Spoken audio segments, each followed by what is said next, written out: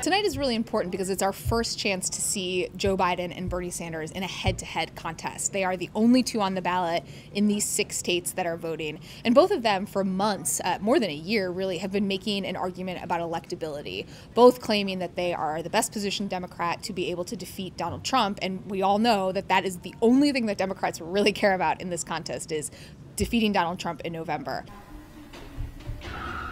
Michigan is a state that Democrats have been talking about for three and a half years, ever since Donald Trump defeated Hillary Clinton in a real upset there in the general election.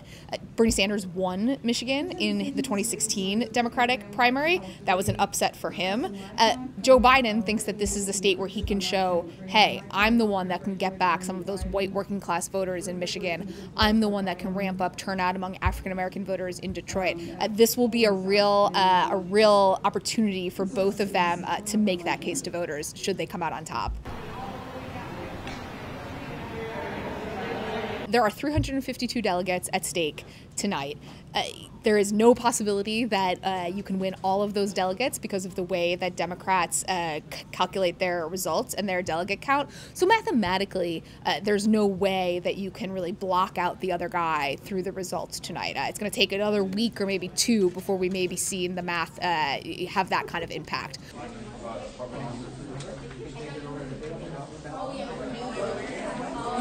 Gel.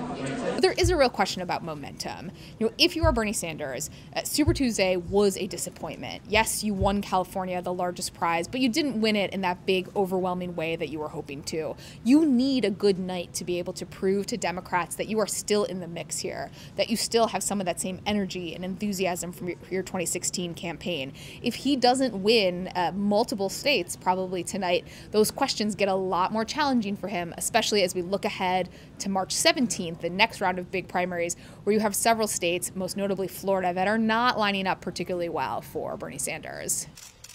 Is that when you have a global infectious crisis, I think there are a couple of demographics that you want to watch for uh, in Michigan in particular. Uh, certainly, black voters, uh, mostly in and around Detroit, um, in Flint as well, but then also looking to other states, uh, Mississippi, another deep South state where Joe Biden is expecting to really pull ahead uh, in a big way there. You also want to look for turnout among young voters. If you do see youth vote really high in places like Ann Arbor, Michigan, where you've got a large university there. That bodes well for Bernie Sanders. He has struggled, and he admits this, he has struggled to get young voters who may be fans of his to really turn out and actually vote in this process, and he's going to be watching that area really closely. His support going all over the country for me, and it means a lot. Folks, look, um, I want to thank everyone.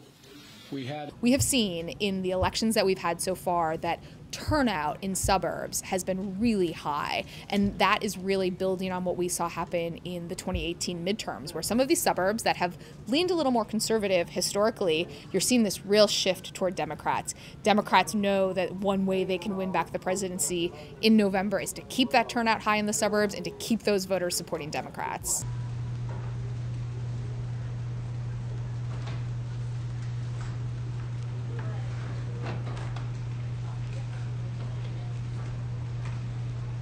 Coronavirus, uh, the epicenter in the U.S. really has been in Washington, but it's a state where they vote by mail. It is something they're quite proud of, this system that they have. So you won't have this issue with people worried about going to, you know, high school gyms or uh, elementary school basements in order to to vote. But we are watching turnout across the board. Uh, we will have a better sense of turnout numbers at the end of the night, but we do want to see if there's a dip in turnout, if people are staying away from the polls because they are, are concerned about coronavirus.